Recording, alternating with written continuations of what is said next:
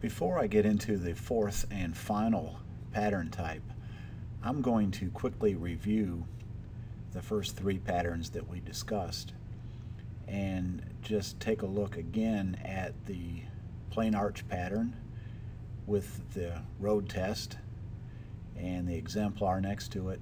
Let's bring in a couple prints and see how they look. Okay, what about that one? Is that a plain arch?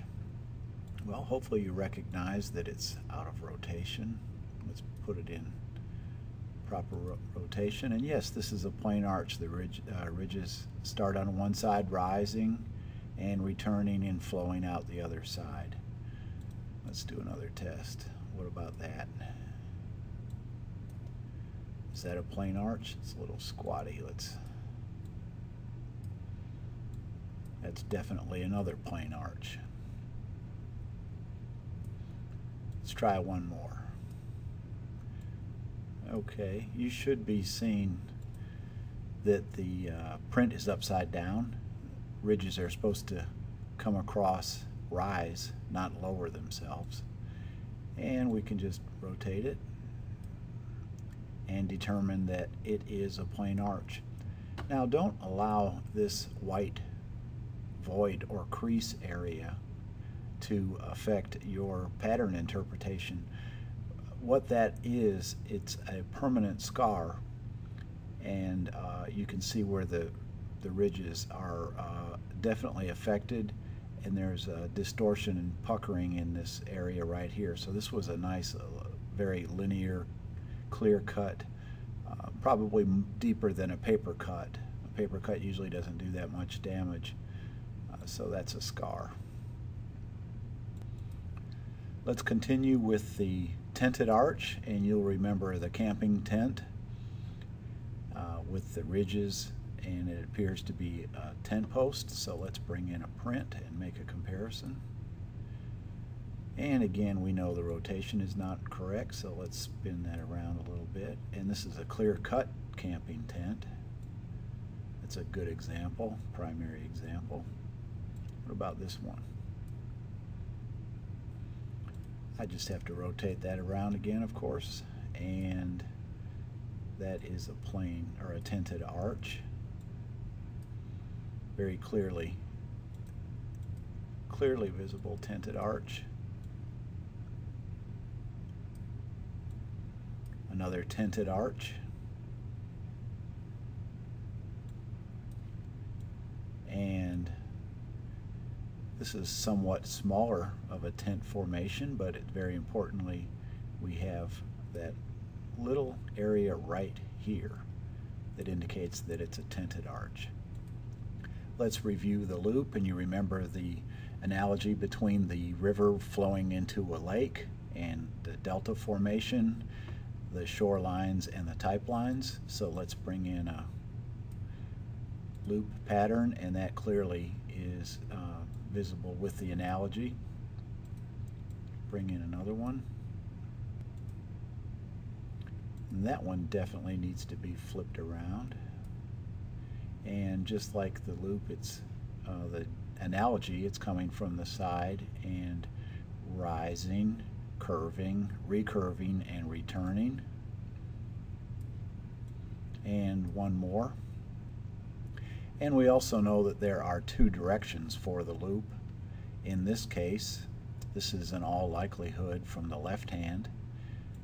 And I can copy and paste it and make an additional one and just rotate this around.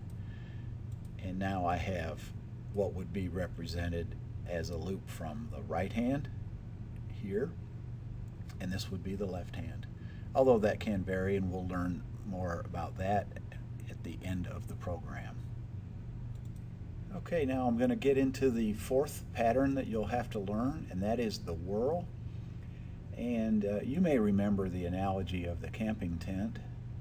And um, I have uh, the young man here with a bow and arrow, And maybe you didn't pay too much attention, but that is uh, a target in the background. Oh, this is another, this is a little bit better picture. And now the analogy is I'm going to use a bullseye, a bullseye target as the analogy for the whorl. And this is going to be the introduction to the whorl. And what I like to describe is the whorl pattern and uh, its very consistent concentric circle formations and it looks somewhat like a bullseye. So as I examine this analogy and uh, this target with the arrow, I have an actual fingerprint here. And again, let's draw attention to the concentric circles that exist.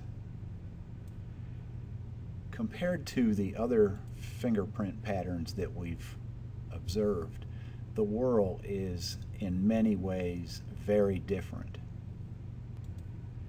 This whorl pattern displays concentric circles and uh, there are just many of them and they circle about in the very center of the fingerprint and uh, this is this is clearly the most uh, easy to recognize whorl pattern.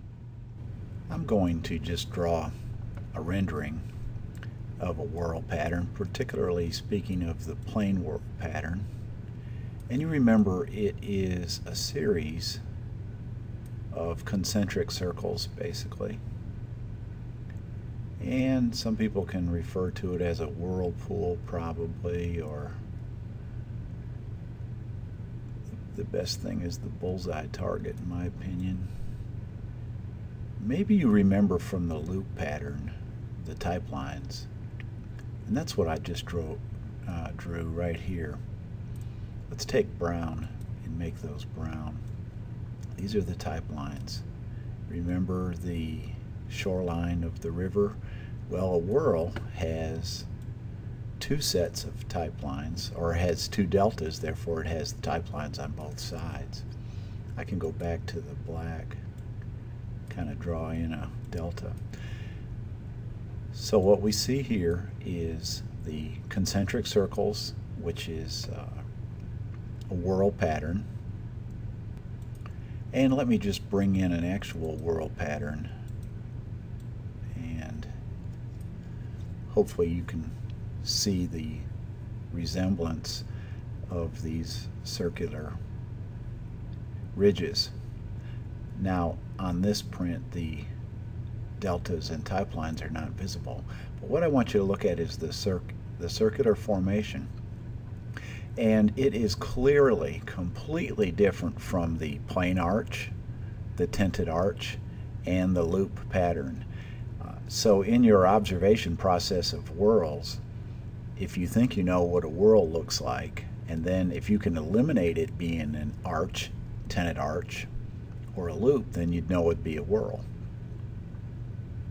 Another type of whorl pattern I'm going to draw, and it is more elliptical in shape.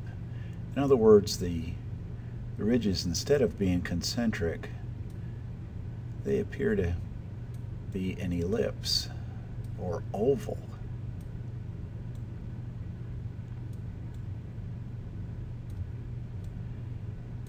And this is represented here.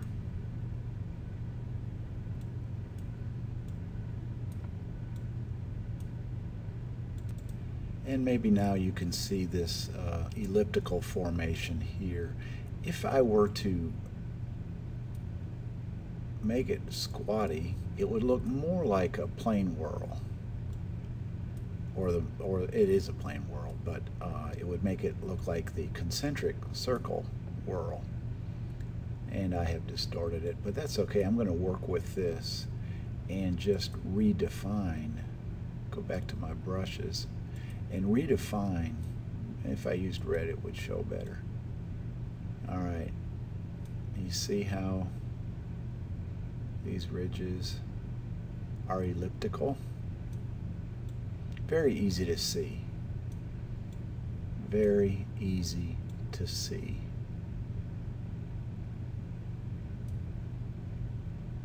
All right, just go backwards.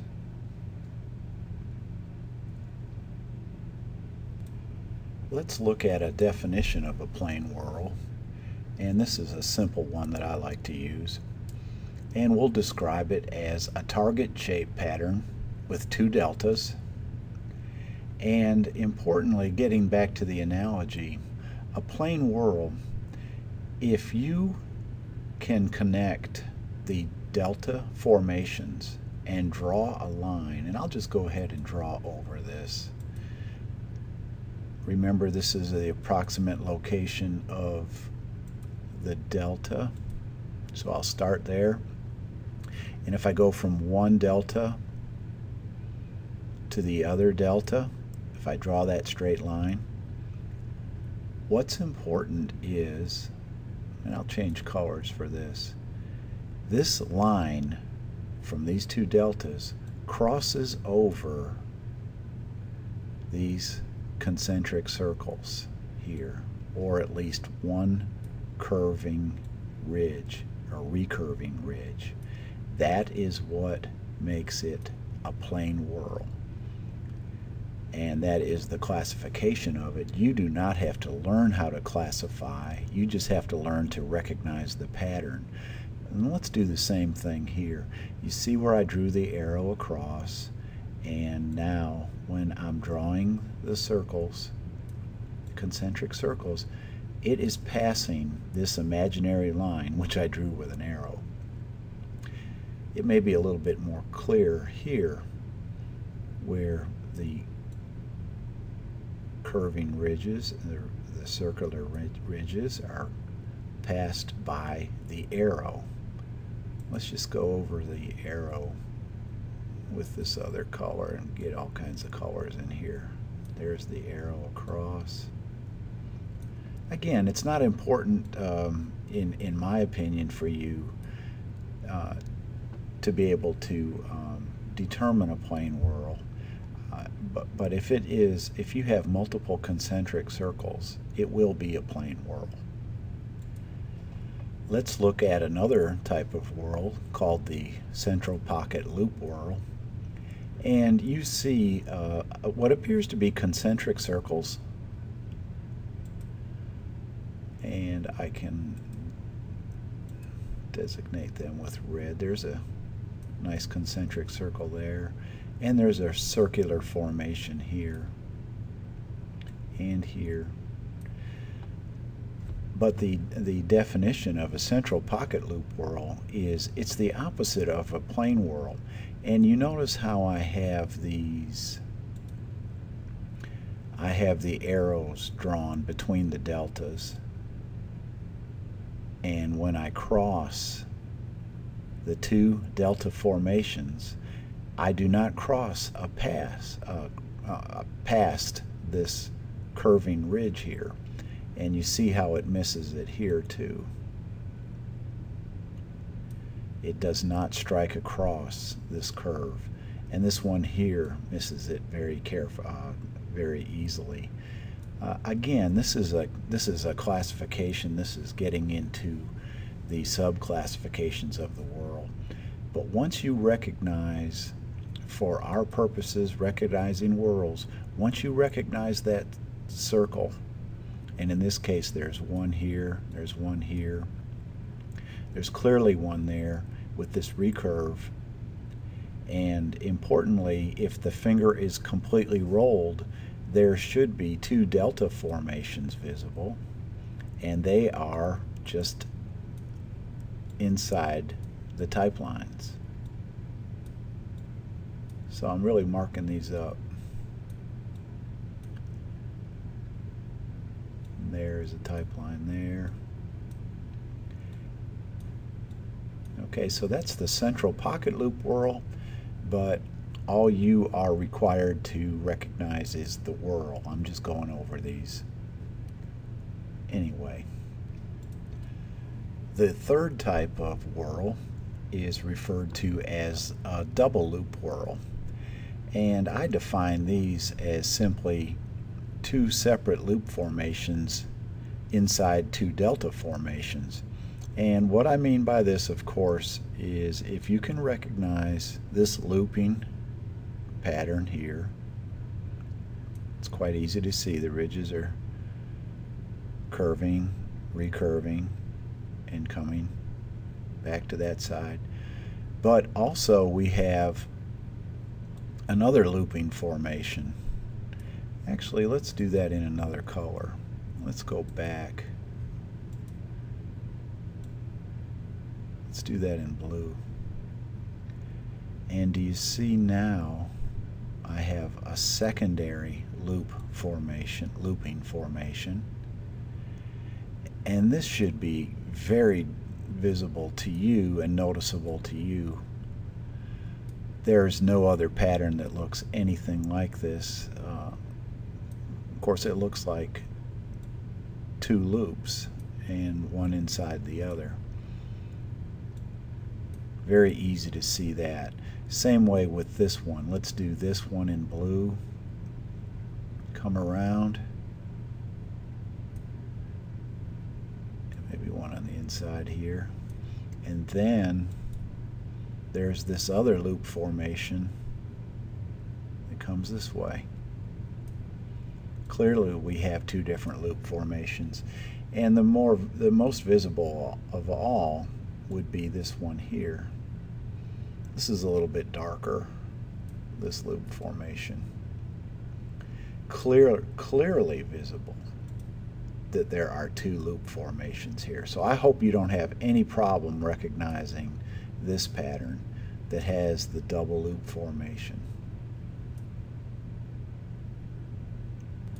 The last type of whorl is the accidental whorl and these will be very easy to recognize because they don't look like anything um, they don't look like the loop or the arch or the tented arch. And there is so much going on with them. This is an example here of an accidental whorl. And if you'll notice and maybe I should use red there are three delta formations here and this goes this way. And these are the three delta formations that we have. Uh, along with that of course is a looping ridge here and it's coming up and it's making a double loop and it's coming up here. So it's not a double loop whorl it is definitely an accidental whorl this one here, you may see a few of these, and this is a combination of a loop over a tented arch. This will always be a whorl because it combines two patterns, not one of them being a plain arch. So let's look at the looping pattern here. Okay, come around.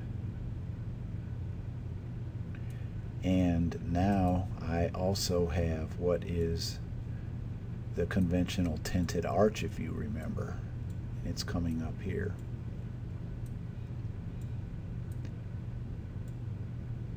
So that is the accidental whorl that combines two, two patterns. And I have another example here. And if you look, it's quite similar to this one over here, where I have my multiple delta formations.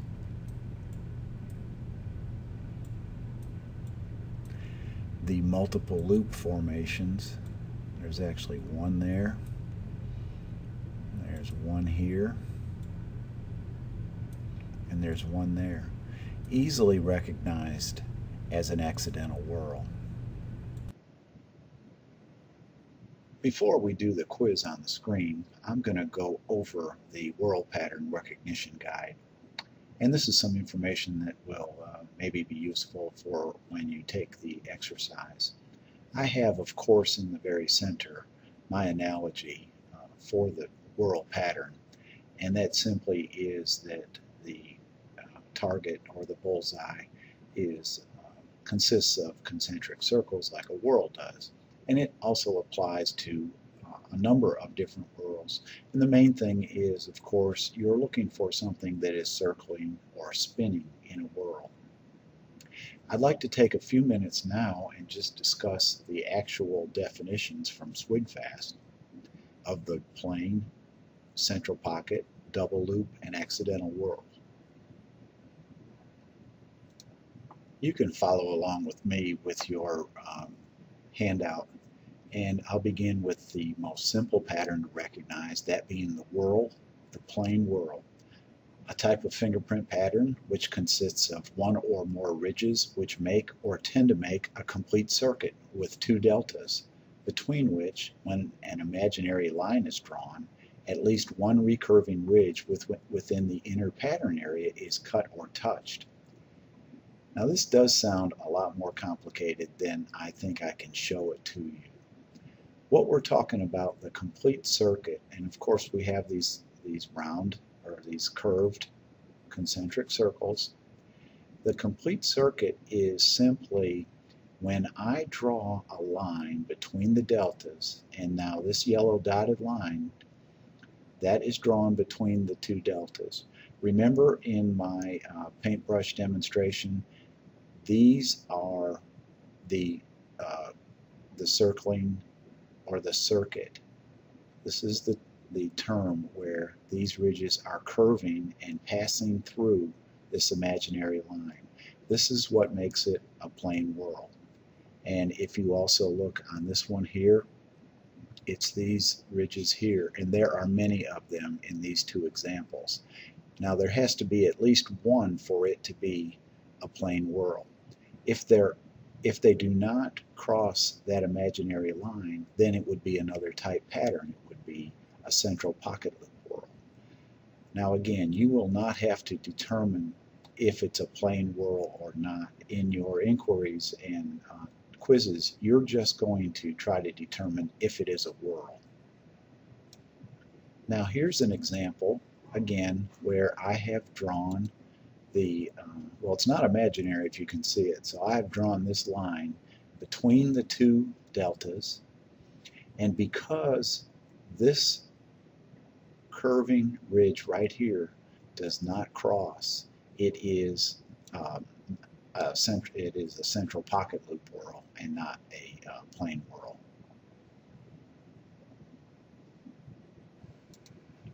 Let's look over at this one again and notice that this curving circuit right here is not passing across the yellow line which means it is a central pocket loop whorl. Let's now look at the double loop whorl and I have it um, fairly clear here marked with red and blue. Double loop whorl is a type of fingerprint pattern that consists of two separate loop formations with two separate and distinct sets of shoulders and two deltas what we're talking about separate is these are making complete loops and they are not connecting with these independent one or the independent one next to it. These, uh, this is the shoulder right here and this is the looping ridge. Same way on this side.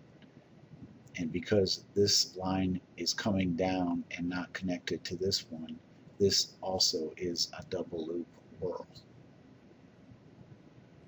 The last type of fingerprint uh, of the whorl pattern and the most unusual of all is the accidental whorl. And the accidental whorl can be recognized uh, most often it will be a loop over a tented arch. That is probably the most common of the accidental whorls and you can see the looping ridge here and then you see this tented arch in the, in the very center. So a loop over a T is an accidental whorl. On this one here, uh, this conforms to the three delta areas where there is a delta formation here, here, and over here. So it has three delta formations, therefore it is an accidental whorl. Hopefully both of these are very clearly not arches or loops. And in that uh, observation, you can immediately recognize them as being a whorl. And um, subclassification would, of course, be accidental whorl. Now, in this exercise, we are just going to try to recognize the whorl patterns and any way you can do it. If, if you can eliminate the patterns as being arches or tented arches or loops, then you should be able to know if it's a whorl or if you can recognize it from these definitions and uh, this analogy, you can also recognize that it's a whorl. At this point, you should be able to recognize all four of the patterns. And here we go. What is that? Is that a whorl? I made it kind of squatty, didn't I? Is that a whorl pattern?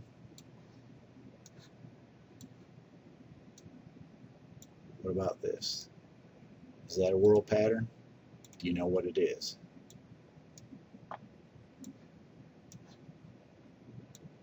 What about this? Is that a whorl pattern?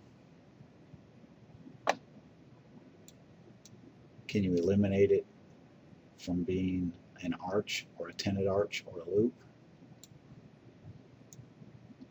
What about this one? Is that a whorl pattern? What is it? What about this one? What is it?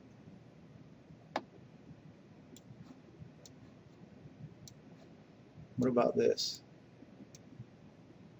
You recognize that?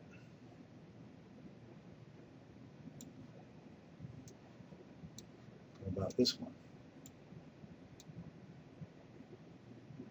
Even if I skew it, I'm hoping you can recognize it.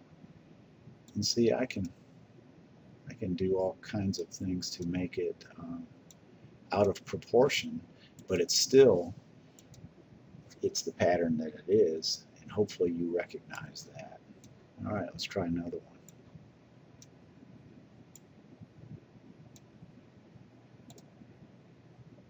Is that a whorl pattern?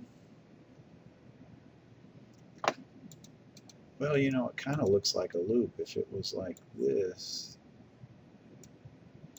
if you had that much what would you think it would be yeah, you might think it's a loop if you have that much, but that's not what you have. You've got this.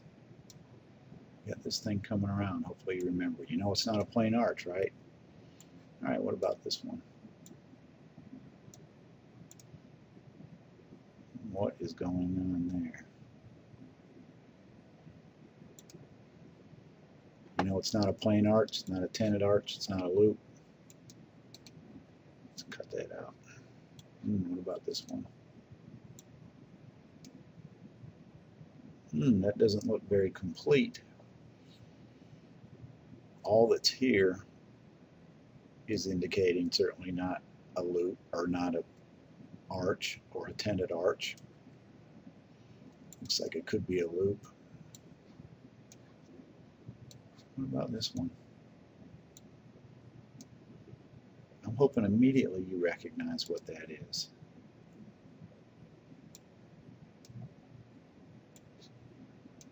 What about this one? That is actually my left index finger. What is it? Plain arch, tented arch? Are you going through the process or are you immediately recognizing that it can't be a tented arch or a loop? What about this? Maybe you remember this from the other exercises. Is that a whorl pattern? What is that?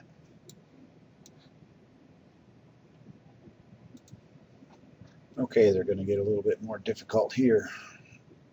Next one, what's that?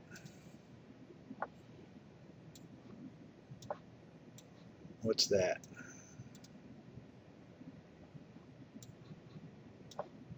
What about this one?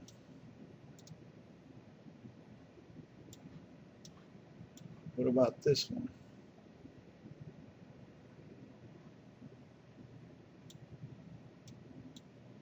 What is it? What about this one?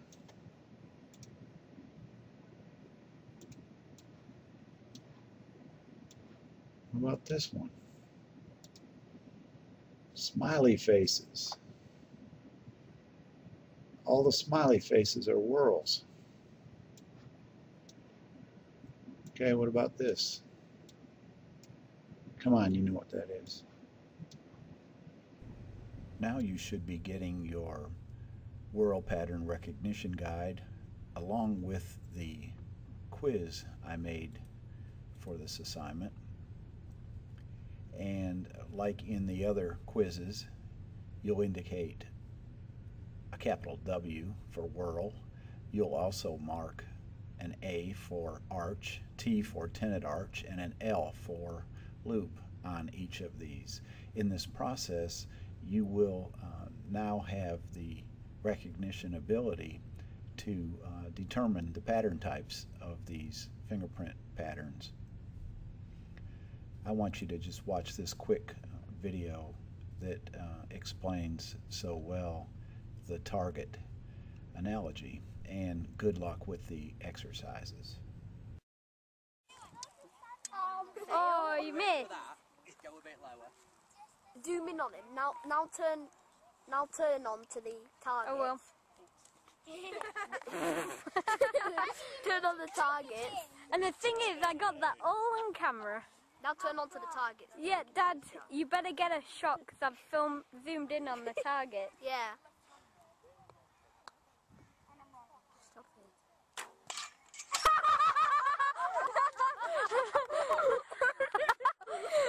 oh my god, I got that on camera.